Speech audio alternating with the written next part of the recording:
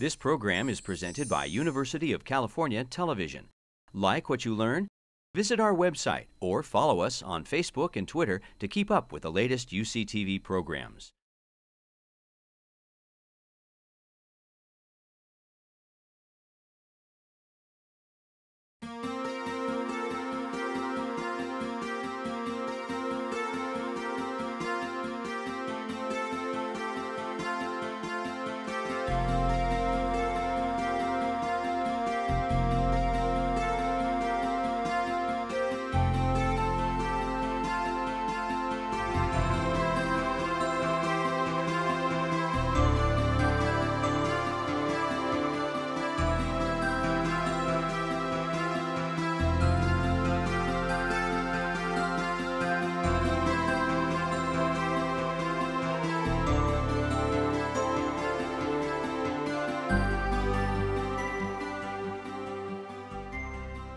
I love reading Megan all, uh, constantly on the technology channel of our site. She always has the freshest and most surprising things to say. Thank you. I didn't even pay him to say that. Thank you. it's just so good. And you've, you've all been enjoying Megan's uh, considerable moderating skills over the past two days. And I get to lead off and co-moderate with Megan, which we're both thrilled about because we're both so interested in these panelists. And then I will be the second rude East Coaster to get up and go to the airport and say, what are you doing living three hours behind us and not giving us any nice afternoon flights we can take?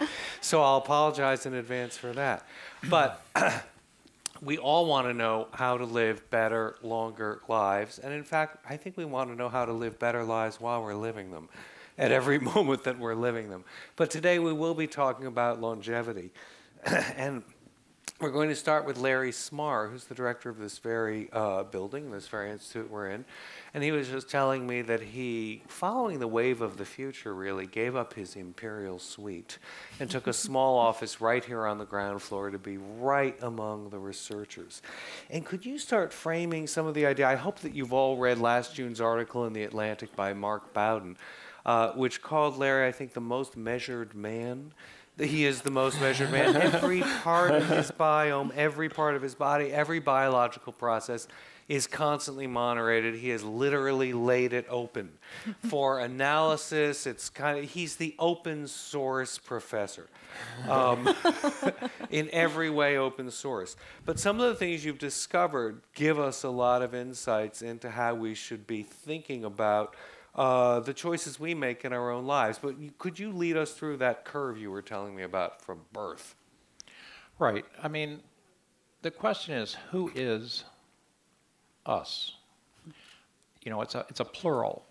Um, we uh, are born basically uh, with a sterile gut, um, and we inherit the mother's microbiome on the way out, one way or the other, vaginally or C-section, which makes a big difference in what happens. And then that uh, diversity of the microbiome, which is 90% of all the cells in your body ultimately, um, grows very rapidly. It boots up your immune system, trying to figure out friend from foe of the microbes. At the same time, your brain is very rapidly developing. And, and, and those three are very highly coupled systems until, as you continue to uh, age, you reach middle age, and then as you go down this long period of older life, all along there, your body's central systems are changing. And so you have to understand what those systems are. You have to understand that you have 100 trillion microbes along with your 10 trillion human cells. Uh, and that when you interact with the environment, like what you eat, whether you exercise, all these other things, it's not just affecting your human cells, it's affecting all of these microbes. And the only real way I can see that we can learn to age gracefully is first to take personal responsibility for your body, its state, and its future. No one else is going to do it for you. And that's very counter, very, very counter to our culture. And we could get into why that has developed. Mostly it's follow the money, and you can figure it out. Um, but in any case, there are tools that science is developing, and we're going to hear a lot of other things here. But what I've been involved in is how can we take the tools of science to understand longevity? And we've got things like Eric Topol, you heard last night. He's now sequenced the human DNA of 500 of what are called the wellderly, the people have aged very well. Have you all got that term, and why haven't we been using it all the time? The wellderly. And and um, uh, Karen Nelson, who's the president of the J. Craig Venter Institute, has just announced last week a new project that will start uh, sequencing uh, all of the microbiome in you, the rest of your DNA, not just the human, and the omics. The we've heard proteomics, metabolomics, and so forth. In other words, the the catalog of what, who you are and how that changes over time, but then also how it compares across populations. So these, it's a, it's a moment of discovery of us that is a once in centuries moment. And isn't one of the things you're discovering that there's this symmetrical development curve? You were talking about the enormous uh, upward change in, I hope you didn't mean upward and downward, you were just referring to rates of change in the first few years of life that established the microbiome, the body systems the way they are, and then an enormous amount I didn't even want to ask, starting at what age, an equal rate of change, starting at what age, and what are some of the changes we should be thinking about in reaction to those? Right. I mean, I, I'm 65 in another week or something. So I'm just old enough to maybe be part of these studies. uh, You have every intention of being wellderly, do you not? uh, well, if I could do as well as she has, No I will can. be. I will be. Let's just get very, that right out of the way. very fortunate. Uh, it's it's not easy, but we're learning so much more about it. And I think, of course, as a member of the baby boom generation, we have transformed this economy all the way from hula hoops to the Vietnam War protest, uh, all the way through. And we are now about to make one of the biggest changes, which is as we become the elderly majority of this country, uh, you are going to see everything shift to focus on aging. So, um, you were talking about some of the rational changes that we can all make, which have to do with exercise that you've already been making.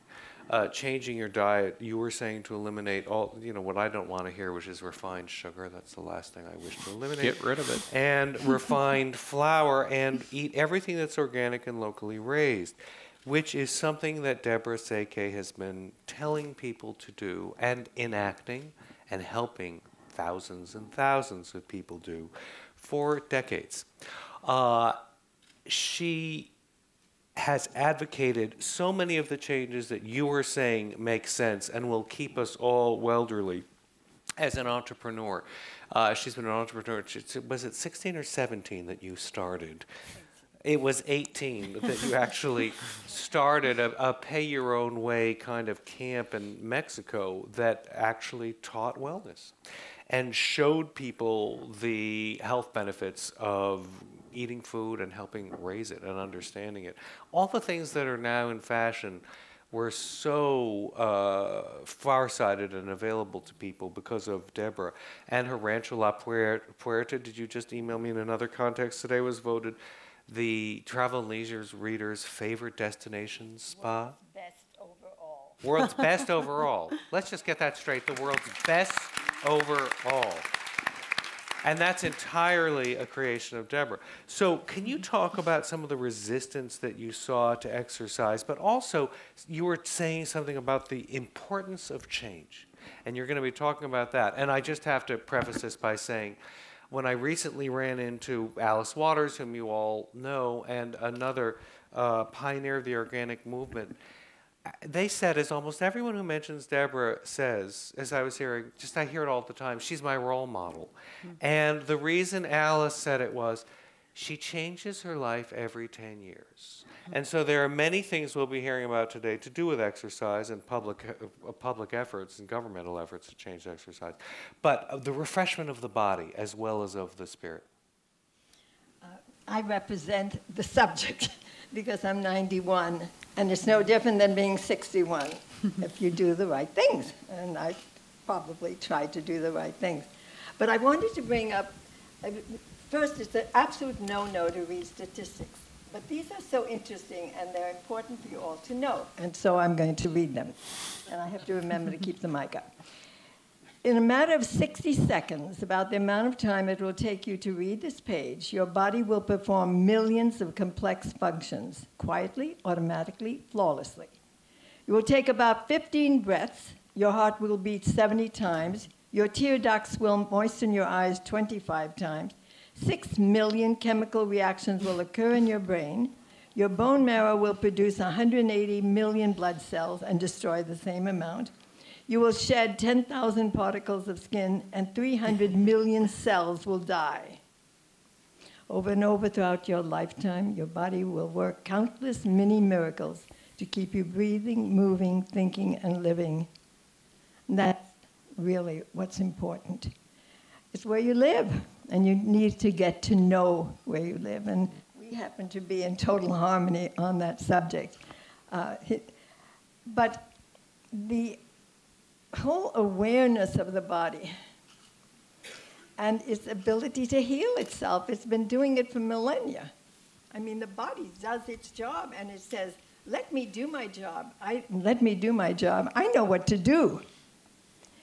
Uh, and we don't and we interfere with it. And so much of the over counter pharmaceuticals interfere more with the body's functions because it's so finely tuned. It's doing all those things all the time. Does this have to do with your very early advocacy of uh, organic food? The idea of don't let other people contaminate or f- interfere with the way your food is raised? We've done organic gardenings now. Ranch in 1940, before the war and uh, we were called a cult. Uh, $17.50 a week, week, bring your own tent. And the idea of not introducing foreign substances, substances that are not organic and natural. And so organic gardening was obvious because, and that continues in all things, and I'm anti all boxes, bottles, and cans in people's kitchens. We do everything from scratch, and it's worked. And also, you were early on to the idea of exercise. It made a huge amount of money and a huge impact in the Golden Door, but it was an outgrowth, really, of your feelings about body and spirituality and, and not just a pragmatic weight loss regimen, no? It's always been passion and spirituality and life and all the excitement. In other words, why do you want to work so hard with your body being well? Because you want to be able to do everything, think everything, uh, be curious. Uh, the vitality of the food, of your exercise, of your health has to do with your vitality of your mind and your curiosity. Have you watched attitudes about exercise change? Because you helped, what was the name of the council that you led in Washington about exercise? Oh, that was way back. Yes, way back, way back. We were talking 1940, way uh, back. I did the in was the it Nixon, the 70s? In the Nixon White House, I did the keynote address on fitness. So that was a little while ago. And yet, you were bringing it to awareness in a country that was resistant. Are, do you feel? I mean, you live in what is it that us horrible, lazy, sluggish East Coasters see when we get off the plane in San Diego? Everybody running. From the minute I got out of the airport yesterday, there's a path by the airport, semi naked people running. And then where, wherever we are. So I would say, have you seen a change? But you're in the epicenter of the change. When you travel to many other parts of the country as you do, do you find that people exercise more regularly and compare it to even the recent recent past? Every decade, Americans who read, who've been educated, do more and more. Unfortunately, it doesn't necessarily trickle all the way down. Mm-hmm. And so the people you're seeing, and they, you know, it's, it's this uh, zip code thing. The poor people don't get that message, and the, because they don't read and they don't listen. And all of you should be running and exercising and doing all those things. And most of you do, because you, I hope, educated, you're here. and the importance of exercise, of oxygen to the body. The body requires great gobs of oxygen The mind does, the butt, and particularly the brain. And there's a lot of studies that is linking dementia to lack of oxygen.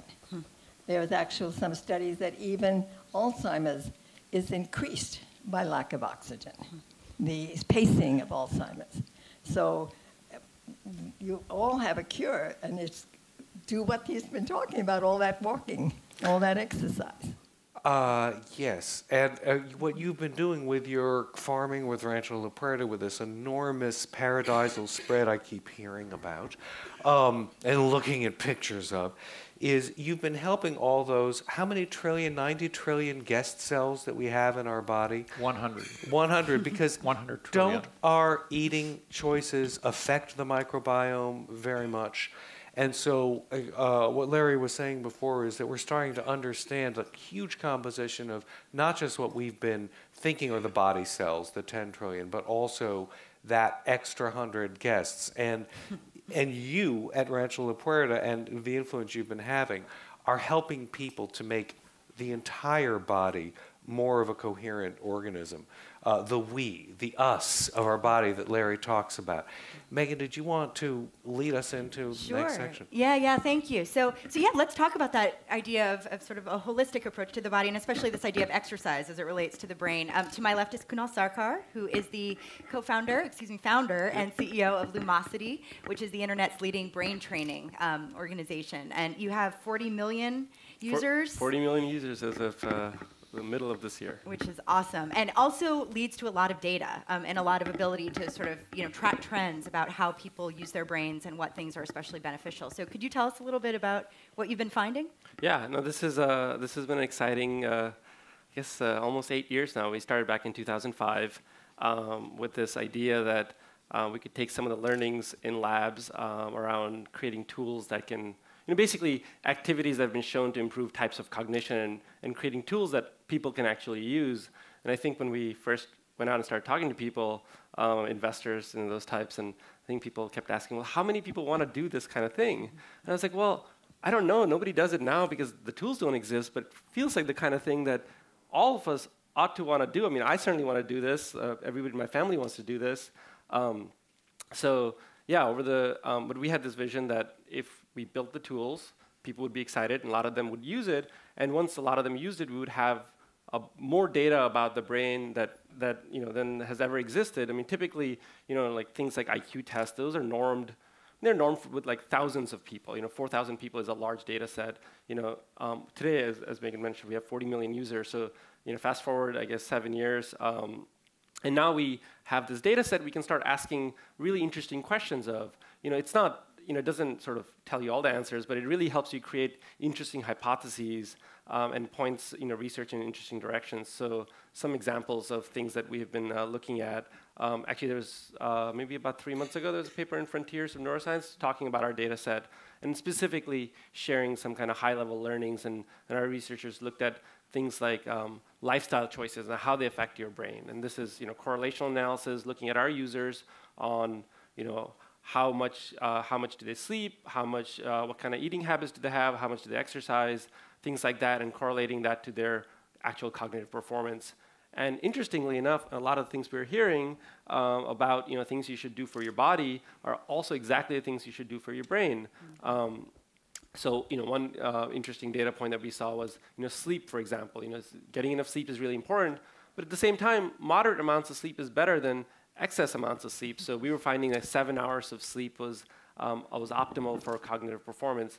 Obviously, it's not a causal relationship. You know, there, would have to be more work to determine that. But you know, interestingly, people who were sleeping nine hours were also doing worse uh, than people who were sleeping seven hours, and as were people who were, who were uh, sleeping uh, five hours. Um, so that was an interesting data point. Uh, we found that um, people who uh, another uh, alcohol was an interesting one as well. Uh, a lot, lot, a lot like the uh, heart-related uh, research we have seen over the years. Um, having one drink a day was better than zero drinks a day, um, and I was, it was also better than having you know three or four drinks a day. So I just wonder how many in the audience are thinking, oh, this is great news. And how I'm thinking, damn. well, what I, what I never know about the alcohol pieces. You know, it, it, maybe the people who, you know, in a very disciplined manner have just one drink every day, just have so much self-control that they, in fact, you know, just have a better, more disciplined life outside of uh, outside of that. That's hard hard to know, um, but. Yeah, so there's some, you know, I think, but for us, this is really the beginning of a, of a journey. I mean, I think the brain is something that, um, that obviously um, we know very little about. Um, you know, we know very little about it at a functional level, how it works, but we also know, you know, not a ton about it at a behavioral level. And what we have learned in the last decade is probably far in excess of what all of humanity knew as of 10 years ago. And what we'll learn in the next decade will probably dwarf everything we know today. And that's a really exciting place to be. Um, and you know, as it and, and a lot of our work and um, you know obviously has to do with longevity because one of the key areas people start you know thinking about and caring about their brain, especially is when they start noticing it performing a little bit worse uh, this year than it was performing the prior year. But it's also just about you know just being better at every life stage. You know, it's sort of like everybody wants. You know, um, I find that my dad, who's 74, uses our product. Isn't so focused on how he's going to be when he's 84. He's just focused on being the best he can be today, and he wants to be better at things that he he's finding himself uh, being uh, slightly worse at. So, but it's an exciting journey to start figuring that out. That's awesome. Yeah. I think I'm going to um, thank everybody on the panel and say that one of the uh, interesting themes that's come across is all of you are talking about curiosity and education and that that's so much a driver of people's improvements in lifestyle choices and the idea of that link, that as long as we're curious and we want to make this change, I mean, it has to do, of course, with demographics and all that, but it's also uh, very hopeful for all of us who wish to be wellderly forever. Um, so I will go get my plane. Thank you all Great. very much. What a great conversation you're Thank you. having. Thanks, Corby. Thanks. One of the themes that really interested me in this conference was just the idea of collaboration and the idea of you know all the things that can be gained from a really cross-disciplinary approach, um, you know, to wellness and to medicine and to data and all of that. And um, I'd love to hear you guys just talk a little bit about that idea and you know um, the Human Cognition Program, for example, and all the other work that you do. You know, where you see collaboration fitting in and what you would hope for the future. That's our day job in Yeah. Calit2. So we are one minus the normal university. So if it gets done in departments, we don't do it. And what doesn't get done in departments is collaboration across departments and across uh, specialties, across with the community, with the firefighters, for instance, which we've done a lot with wildfires, things that ought to be done, but in this just rigid set of stovepipes don't get done. And one of the problems is that when you've got a culture that all of the um, measurements that uh, determine your promotion and so forth are based on, you know, did you do a single author paper in the good journals, or if you was multi-author, was your name closer to the front than the end? I mean, this is just nuts. But this is how we're evaluated as professors. And so there's a deep cultural barrier to collaboration. Mm-hmm. And so it's not easy, or else it would have spontaneously emerged. I often have a situation where there's a call for a proposal, requires a chemist, a mathematician, and someone from the medical school. Mm-hmm. And, you know, we'll, we both have a Rolodex, so we know how to go find folks who like to collaborate and who are really good. And then we bring them together, and then they go, we help them write the proposal. And they say, oh, thank goodness for Calit2, we never would have been able to do this. And I said, how long have each of you been here at UCSD? And they say, well, I've been here 15 years, I've been here 12 years, I've been here 20 years. And you couldn't find each other? Hmm. Yeah. That's Yeah. how big the potential barrier against collaboration is. And so it takes a, a special energy and, and mandate, actually, in hmm. this case from Governor Davis and President Atkinson uh, of the University of California that started the program in 2000 to make it happen. But once you can do it, it's the floodgates open. The, the amount of people that want to collaborate on projects in society that really matter, it's just enormous. And that's what's so hopeful.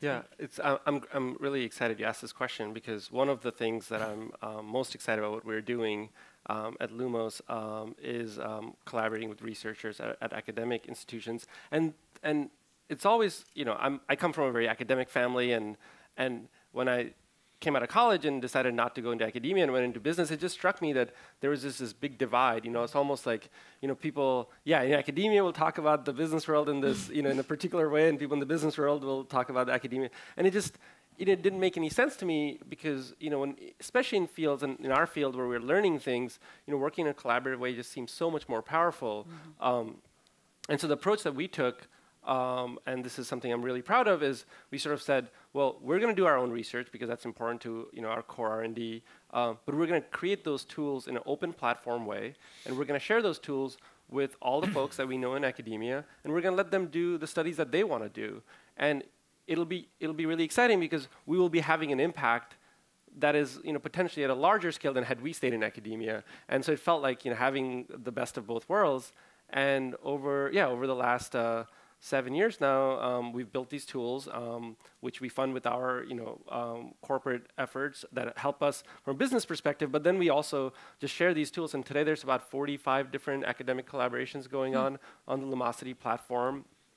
And the really exciting thing here is that researchers who you know know oftentimes know something you know know a lot about something that we know nothing about are are, are doing studies that we um, we wouldn't even have thought of. I mean, one just make to make it a little bit more concrete. And one very specific example is um, we're working with a couple of folks at Stanford, uh, Annette and Amit, um, who who are interested in looking at generalized anxiety disorder, or looking at depression. Hmm. And what they found in their research was that a lot of the folks who suffer from those conditions have this particular cognitive deficit around task switching, around flexibility, where they seem to ruminate on you know, which leads them to ruminate on negative thoughts too, hmm. too much. And so they, ha- they hypothesized that maybe something like Lumosity, which helps with task switching training, could help this population. Now that's something that we would never have thought of, and it's, you know, it's an interesting hypothesis. And so they were able to run a study that would have cost them, you know, probably millions of dollars mm-hmm. um, if they built all the tools themselves, you know, for you know, a very cost-effective manner.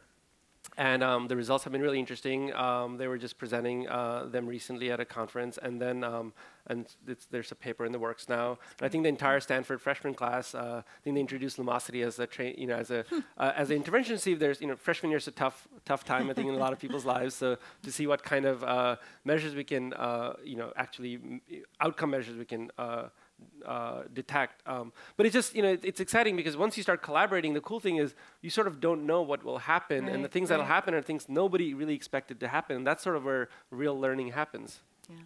That's great, and yeah, um, uh, collaboration, especially from the policy perspective too, and you know what, what maybe the connections that we can have with our government and, and all of that. Uh, well, uh, that led up to the. Uh, they asked was I going to talk about wellness warrior, and I said, well, I'd rather you know I'm going to talk about being 91 and fitness, but that you have brought up wellness warrior indirectly because that's what we do. We're working, uh, it's wellnesswarrior.org, and it's still in infancy. And wait about January, we'll have our new website, so wait a little while but anyhow, but it's there now, and it's pretty good. It's but very good, actually. I've been there. It's good. It'll be better. it'll, be better. And that's, that's the fun of it because it's my decade project for this decade. uh, but it, actually, we're trying to connect and get collaboration going between all the wonderful nonprofits who work to provide, to protect, to prevent illness. They're there to see that you have safe air and safe water and safe food. And there are dozens of fabulous organizations, uh, Environmental Working Group and National and Conservation League and all these things that most of you should be following. So we're going to, through Wellness Warrior, connect them all. So we're going to be like a U.S. News. We're going to present what more or less their breakthroughs so that you could be very, you know, follow one and be able to find out what's going on in these people who are fighting to save your lives. And so there is so much good going on. And there's sort of it's like David and Goliath kind of thing because the whole system is not set to protect you uh, and prevent illness. And what we've been doing all these years is preventing and teaching people the responsibility, your term, my term, mm-hmm. of taking care of themselves. We know what to do, we just have to do it. Hmm.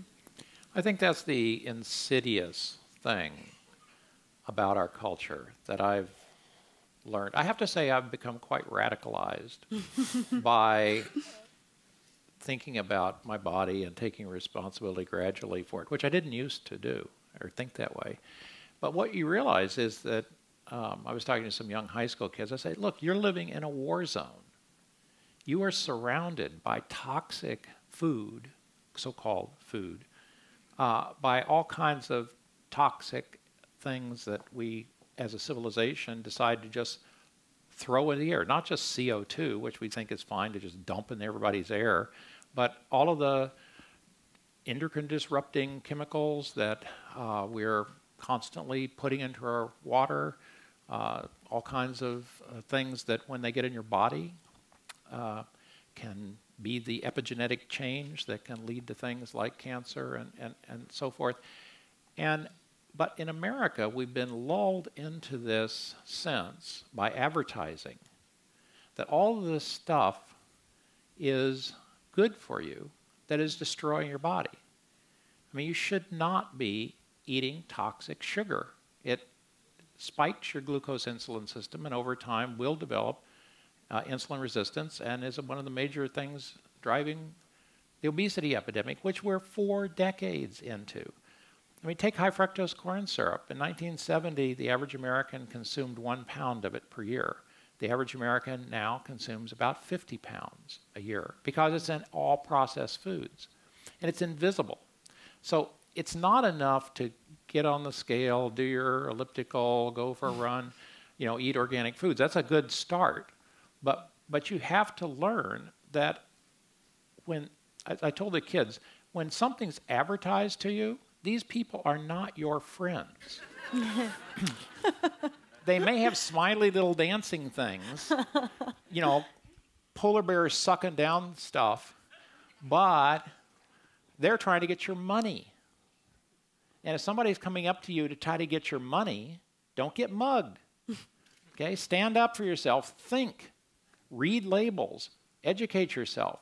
And that's the journey I've been through for the last 10 years, going from you know, looking like a normal American, which is overweight or obese, uh, to much healthier. And but it but it's hard to think about just how wrong our current culture is in this regard and what it's going to take to actually get it back to the sort of healthy environment that you've been a pioneer in mm. for 70 years. Well, thank you. Well, on that note, I'm going to turn it over to you guys. Um, let me know if you have questions, and we've got one in the back right there. Uh, good morning. I think it's still morning still. My name is Wyvern Aswad. And I'm a student at the UCSD Post-Bac Extension Program. And this is a question, well, I just want to begin really saying that uh, I was really uh, hardened really to hear, hear your story just about how when you kind of first began, um, and this is for you, Miss De- Miss P- Yes, Deborah. Um, when you just went out and, and began organic farming as a younger woman, uh, because it really does show a time when doing things like eating organic was simple and not so expensive. But now, in our current um, kind of market sense, you know, it's almost though we're combating big agro with big orgo, if you will. Um, so, can all three of you really talk to us a little bit just about those of us who are interested in empowering individuals and communities to live well and eat well, but doing so without such high costs? If you can give us any insight that you all have on that, that would be very appreciated. Thanks. Well, the answer is community gardens, and they can be in sidewalks, they can be any place. People always, for aeons, grew their own food and there's no reason why not we cannot uh, farmers markets uh, and community gardens. Uh, at one time, you know, somebody had more tomatoes and someone had more squash, and they would barter. I'll, you know, I'll give you some potatoes. Will you give me some of yours? I mean, we really have to go back to some of our agricultural roots to have abundant, inexpensive, relatively inexpensive natural foods. I mean, gardening is the answer. Community gardens and farmers markets. Um, the freshness is very important, and most of the things in supermarkets don't have that fresh aliveness that is so important as food that you pick yourself. I grew up growing with my two brothers under my father's dutiful watch uh, a half acre garden of um, Missouri River black soil that was like 20 feet deep or something. And we just had this bountiful, bountiful harvest. I mean, I, I can't tell you how much a half acre garden produces. It's just crazy. Uh, we would get gunny sacks of potatoes, of corn, of tomatoes. I mean, just just rick. We just rick up the watermelons. I mean, I remember it got to the angle like they were all going to fall down, you know. and and I don't know how we actually ate all of that, but then we did, of course, give it to our friends and neighbors and that sort of thing. And then I went into this civilization, and I, you know, I went to, you know, start University of Texas at Austin, Princeton, Harvard, Illinois, and so forth, and somehow got outside of that.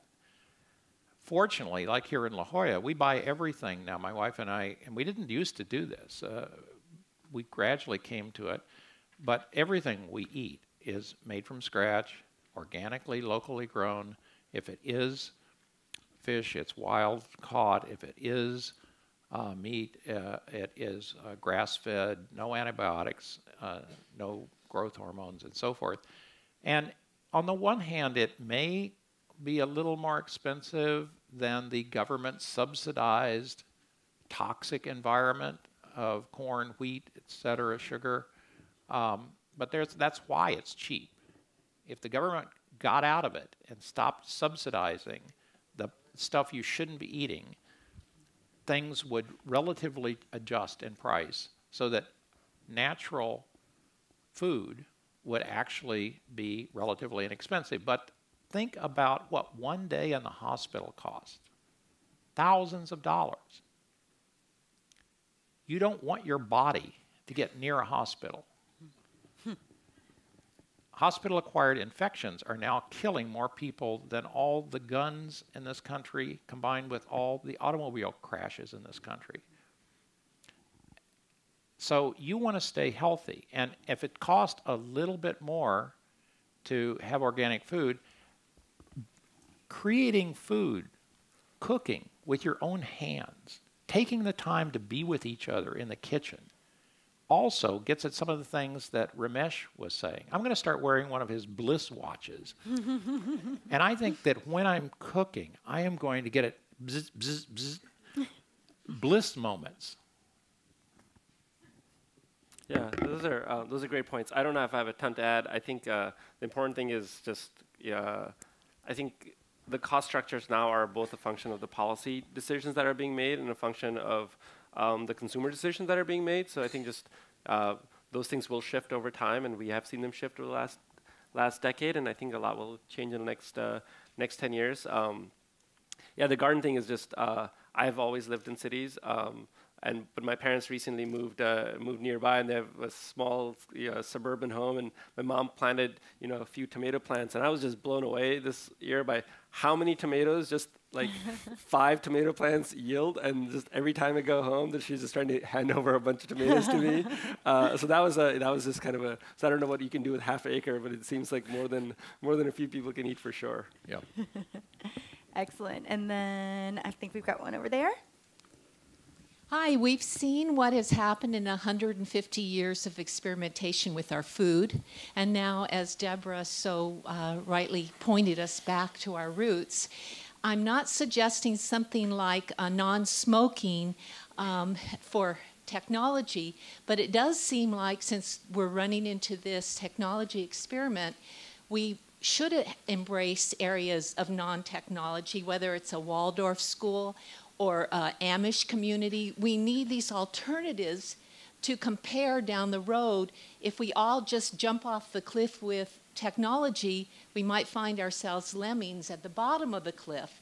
Now, I know there's some people that even are looking into, besides the adulteration of our foods, uh, sleeping areas. In the past, people slept well, but they didn't have electrical outlets coming into their homes. So even if we do gradual changes of awareness, perhaps one room in the house that only is serviced with candlelight, um, I think we'll have more comparisons down the road than we would if we just all take the same path.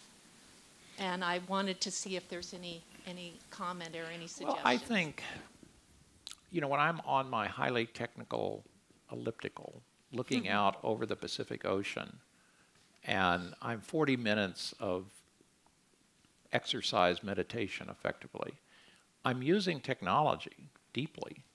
I've got a heart rate monitor on to my smartphone that I have, I'm painting with my heart uh, intervals that I want to go between this many beats per minute and that many beats per minute for this many minutes. When I'm wearing my Fitbit, everybody who gets one of these little Fitbits, which is pretty high tech and also connected to the cloud and all that's very high tech, they double or triple the amount of walking that they do a day. And that is one of the biggest things you can do to improve your health in the long run, including your brain, which is a part of your body. Uh, so I think it's not the technology, it's the enemy. Um, one of the it's it's basically been the problem since we had the river valleys and hunter gatherers gave way to cultivated um, crops and domesticated animals, and the population density jumped a huge amount, and and the health right then we're talking five to ten thousand years ago went way down. The height went down. The teeth started rotting and falling out, but you could keep a lot more people alive but it was on these empty calories, basically, of high glycemic uh, grains, and um, and and and that's still what has kept the world's population as large as it is. So I think we're going to actually see by the end of this century is a declining global population, and a gradual reemergence of healthier living, and and it when you have a market that's based on how many grains of whatever per acre is the metric, then of course it's going to end up not being as healthy as it could. Um, and that's why you're seeing one of the, I mean, the fastest growing area of the beef industry, maybe you don't want to eat meat, but if you do, is grass fed. So I think there's some very hopeful trends out there. And I don't think you have to run away from technology, but you do have to think about it and make it your make it serve the goals that you personally have and not just be a slave to it. Okay, great. And I think we have time for one more question. Uh, let's go to the back over there. Oh. Hi, Andrea Mills. I I have two very simple and complex questions at the same time uh, as possible interventions. So, so first, why the FDA doesn't really ban completely all, all processed foods and, and really take care of the other equation of the healthcare? And second of all, why uh, um, are we not seeing a, a big push against decentralization of, of knowledge workers in, uh, in, uh, in, in rural areas, in high quality environments, using telework at a, at a very high and high quality level with the level of technology that we have, instead of being uh, always forced to move to the big cities, to New York, to Silicon Valley, and all that. Because uh, uh, that will actually empower easier to execute strategies also at family level to do to don't spend three hours in the car to get your own garden without spending a million dollars in a, in a piece of land that is polluted in the back door and stuff like that. So I wonder why these things are not happening in, the, in this big uh, scenario of evolution. Thanks. Well, we're in a moment of churn, as they say. When you go, when you have something really disruptive happen, it, there's a moment that can go on for decades in which both positive and negative things are happening at the same time and, and all over the place.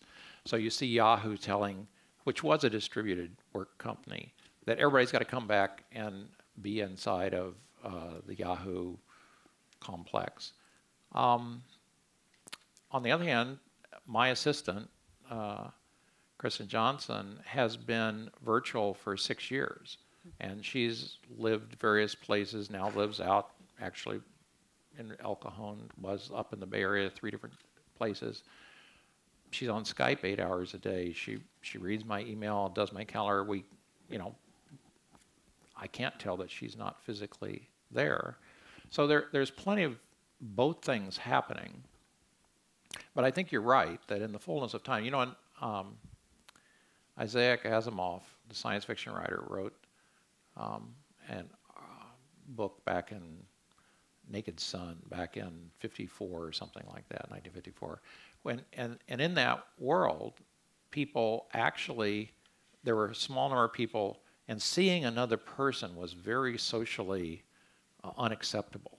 Hmm. Uh, you saw three dimensional holograms and interacted that way. Um, and that was the way the whole society on Earth was organized. So there's been metaphors that artists, among others, social scientists, have provided. Um, and I think this call for more experiments, you know, I think is, is, is exactly right. We, we need more examples that we can learn from and uh, emulate. I'd like to just say, um, again, and it is the individuals, we need to empower the individuals, empower our people to understand how much damage is being done by big business, big agro, big pharma, big all this bigness. Um, all our food is uh, in the hands of less than 20 major corporations. Each one has dozens and dozens of companies.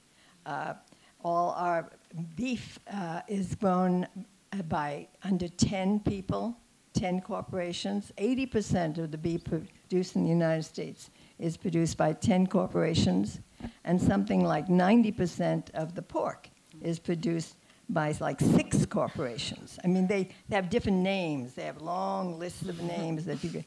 The system has become big business. And if we can get food out of big business and back into the hands of the people, we'll be way ahead. well, thank you. I think that's a great note to end on. Thank you guys very much. Thanks for being here.